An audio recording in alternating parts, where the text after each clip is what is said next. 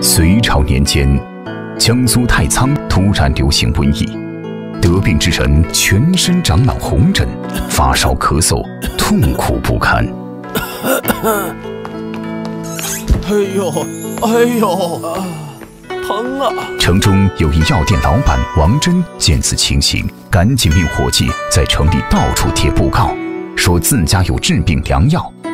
没多久，药铺前就排起了长队，仓库里囤的变质药材全部都售一空。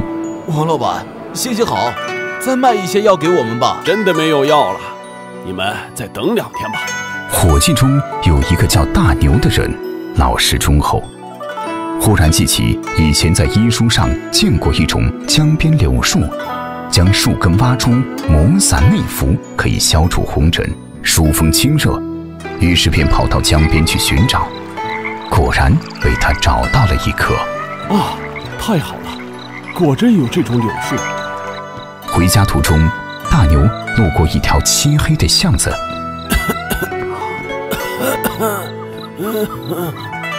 大牛见这和尚着实可怜，再不救治就没命了，干脆将和尚带回家，亲手熬了药。来，大师，请喝药吧。没过多久，和尚的红疹竟消失了不少。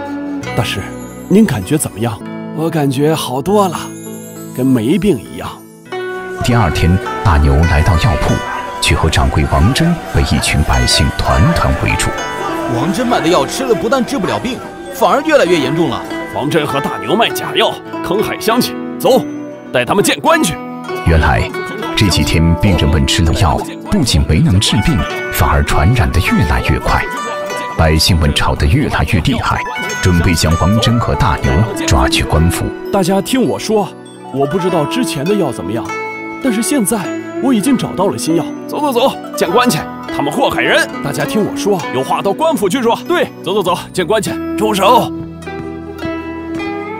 大牛没有卖假药。我的病就是大牛的药治好的，如若不信，你们尝尝这副药就明白了。说完，他打开药包，一包是已经喝过的药渣，另一包还是未煎的药材。大家见状都半信半疑，没人敢上前试药。我来尝。这人正是大牛的母亲。大牛当众熬起了药，他将药喝下。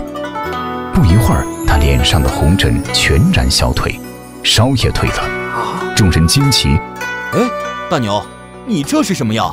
大家别着急，这就是我在江边找到的新药，我这就带大家去取。大牛便带着大家来到昨晚挖树根的江边，说明了前因后果。王真见状，准备偷偷溜走。却被一面无形的墙壁阻拦。恶人哪里走？王真扑通一声跪地求饶：“大师，我知道错了，放过我吧。”这时，众人见和尚竟悬空而立，随即天空出现了一朵莲花，和尚化身为观音菩萨立于莲花之上，地面长出许多能治病的柳树。朝念观世音。